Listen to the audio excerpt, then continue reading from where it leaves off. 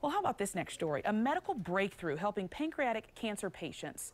Florida Hospital in Tampa is the second hospital in the country to treat patients with this tumor targeting approach. ABC Action News reporter Ashley Yore shows us families here feel blessed to try this therapy. Married 56 years, know him inside and out. the Allisons were devastated when David was diagnosed with pancreatic cancer in March. It hit me hard because I had a sister that died last year of pancreatic cancer. So I, I, I just figured, well, this is the beginning of the end. Until David met Dr. Alex Rosemurgy and started a new form of treatment that uses a catheter to hit the cancerous tumor directly.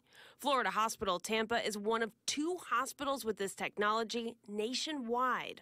We can give very, very high levels of chemotherapy, very, very high levels of chemotherapy into the tumors, and yet have body levels which are very, very acceptable to the patients. Dr. Rosemurgy says it can be difficult to get enough chemotherapy to the tumor with regular treatment, and patients see painful side effects.